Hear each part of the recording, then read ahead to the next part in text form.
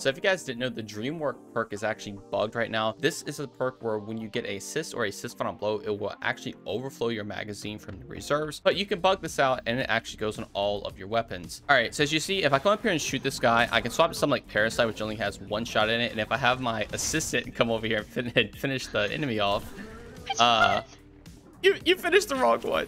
I can find him. okay, as you see, you get to two shots in the magazine now, which is really crazy. And you can keep stacking this forever. So I'll go do that really quick. Okay, so now I've got it all stacked up. As you see, we have 11 shots in Parasite. So what we can essentially do is just shoot infinite worms literally forever. And you can imagine on any weapon that has, you know, a single shot like Gjallarhorn or something like that, you're going to be able to do a lot of damage. It's actually crazy. This glitch is absurd. It does take a little bit to set up, but if you do it, you can pretty much just destroy everything.